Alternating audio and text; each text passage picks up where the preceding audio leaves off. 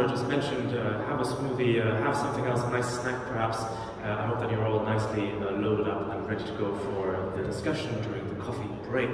Um, as Sarah Alexander already mentioned, we are talking about cybersecurity and safe documentation innovations.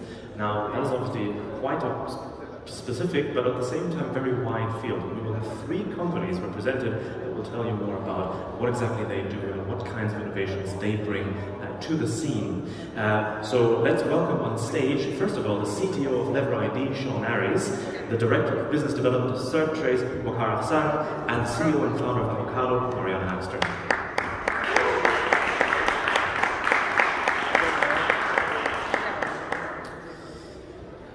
Ladies and gentlemen on stage, lovely to see you. Um, of course, we will have uh, time for some statements and so on, but first I think we have a small introductory video uh, so we can take a closer look at the companies. Lever ID provides a future-ready, highly secure digital identity and signature platform. Their cutting-edge product offers a single access point, whether remotely signing a contract, logging into your e-bank, or even voting in your local elections.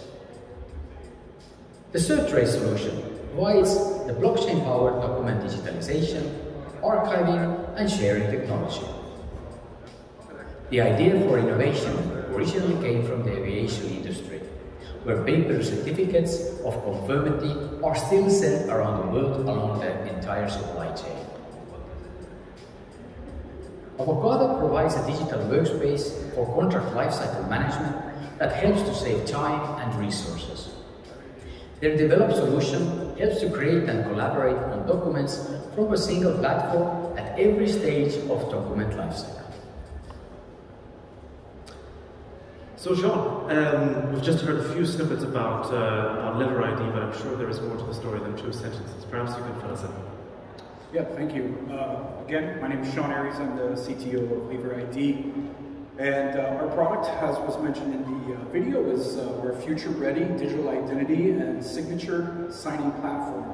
Uh, one of the other key technologies that we integrate into our service is uh, remote uh, identity validation, or in other terms, KYC, if you're more familiar with that term.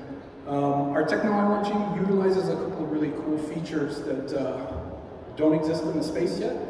We're utilizing a next generation encryption technology called Edwards Elliptical Curve Math to create our digital identity solution.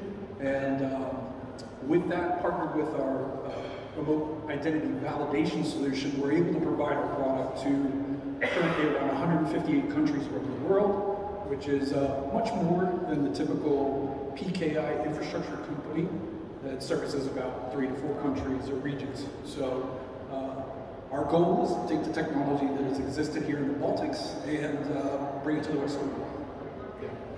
Very well. Um, we will move on to questions later, but perhaps first, uh, Macario can tell us more about CertTrace. Yeah, thanks. Uh, I'm from TraCert, and I am Director of Development at TraCert, and uh, our product is CertTrace. So what we do basically is we use blockchain technology to digitize documents.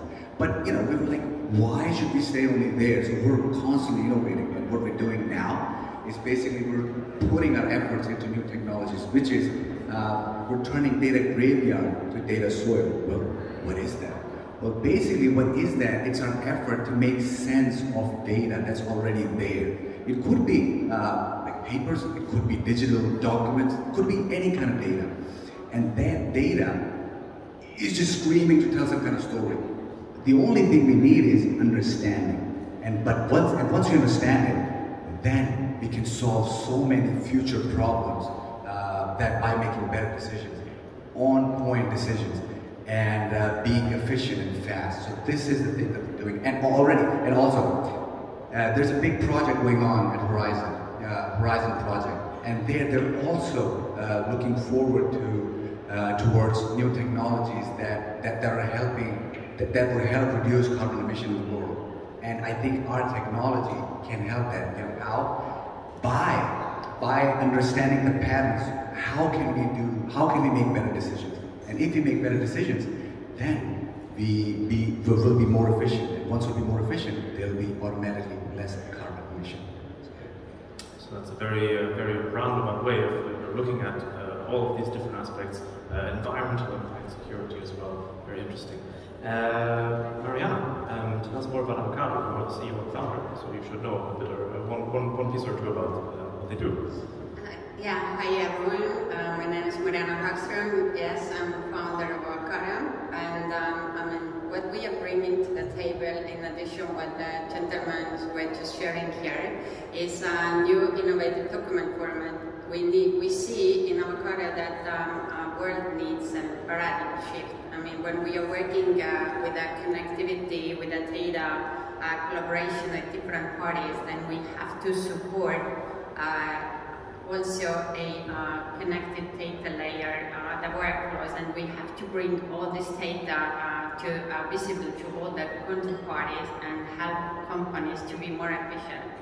So when uh, we are talking about new document format, it is a layered document format uh, where the other systems could top up their platforms there, and companies in this platform could integrate any system to, uh, to understand the data there. So basically when we're making it a very practical example, uh, then uh, let's say uh, when I need to uh, manage relationship in our revenue operation or in a people operation or legal operation, all these documents consist of different stages and a lot of data. And uh, when we are just stepping from one stage to another, uh, then we have to give that also data connectivity, data integrity, and make this data scalable so that every step we are taking further either to the blockchain or uh, verified parties which come to that document, then we have to enable that.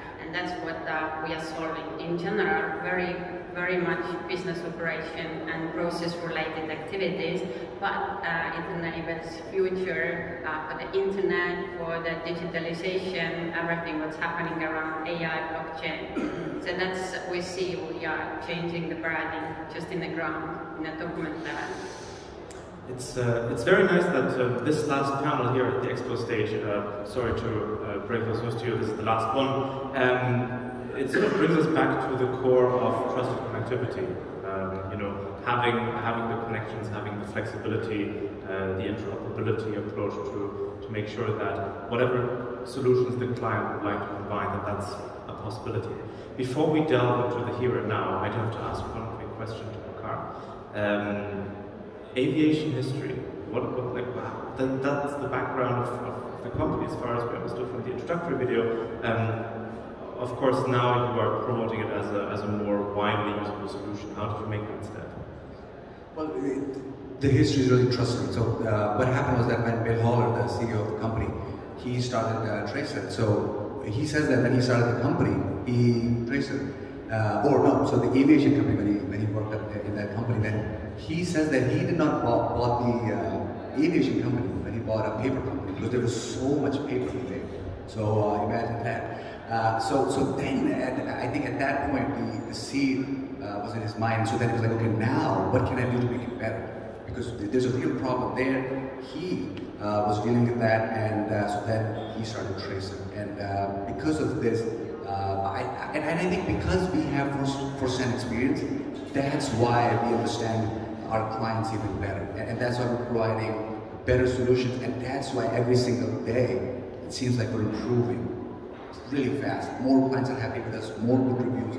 And by the way, I, I, I don't want to, uh, uh, you know, spoil anything, but uh, but we have big partners. We're talking with big people, and uh, in Estonia, just uh, I want to say this that will be huge. It Will be huge in in few months. You just just just wait and watch. Yeah. Sounds promising. Um, perhaps one, one question that uh, always arises in my head when we talk about the adoption of new standards, as, as you mentioned, also for Avokaado, also for Lever ID, quite, uh, quite relevant, I think, is um, the, the time that um, most people, and at the end of the day, companies, organizations, the public sector, of course, uh, they're run by people. Um, how, how do you seek to sort of bridge that, that gap and like speed up the adoption time of a new standard that you hope to set as wants to go first?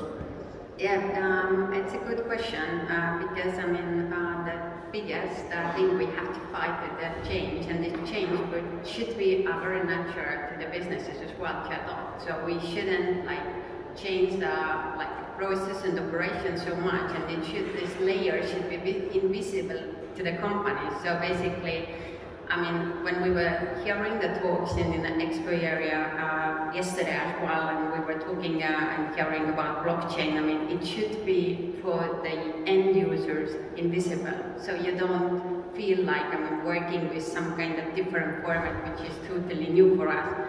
But uh, it is making life so much easier, and uh, and once you experience it and you see uh, that uh, you can use this data connectivity trust and, and, and using document format which basically communicates with any platform or any other step you're taking in, in one business relationship.